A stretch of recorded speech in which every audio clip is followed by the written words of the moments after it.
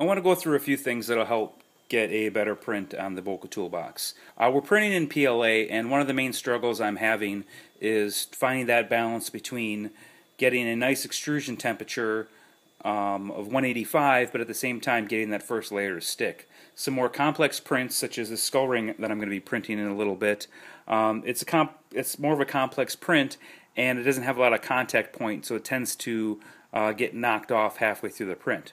So you can kind of see it's the the extruder head right now is kind of oozing. Um, um, it's it's over temperature right now. I have it set at around 210. Um, the MakerBot's printed it around 230, but they have a fan that helps control that uh, hot spot. So a lot of the Prusa's printed around 185. What I've been doing is I'm cranking the temperature up to about 210 um, for a more complex build, and then as it increases, I will lower the temperature. I would keep it this hot, but as we get something uh, such as this ring and the extruder crosses across this open area with the temperature so hot and it oozes like this, you get these stringy webs, and the PLA is pretty hard, so it gets pretty tough and scratchy. And if this detail mattered, it would get ruined. It's a ring, so it doesn't matter. I just cut it out, but um, you'll have to mess with it depending on what kind of print you're doing. If you're doing a simple extruded print, you don't have to get as technical with this because it'll it'll stick uh, a lot better. And something with more surface area or something that has more area touching the bed, you won't have as many problems.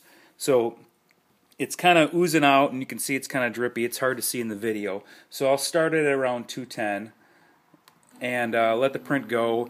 And it, it I have it set up to do a brim. So it's like a brim of a hat. It lays several layers around the piece to kind of get the extruder started so that by the time it gets to the print, uh, the filament is fully extruded.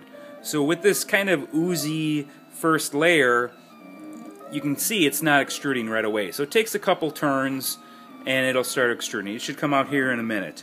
Uh, when it does, the first couple little bit can be a little clumpy. It can stick to the head of the nozzle um, you can have a couple issues. So what I do is, once I get that first couple layers of the brim, I will then, um,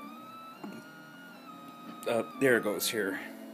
So you can kind of see it's a little oozy at first, and it's stretching that first string across the platform. So I just rip it out of there. And from here on, we should be pretty good. Um, make sure I get some good adhesion, and as it builds up, I'll lower that temperature to around uh, 190 even 185 should be good. It gets a really nice detailed print. And uh, from there I'll check back with you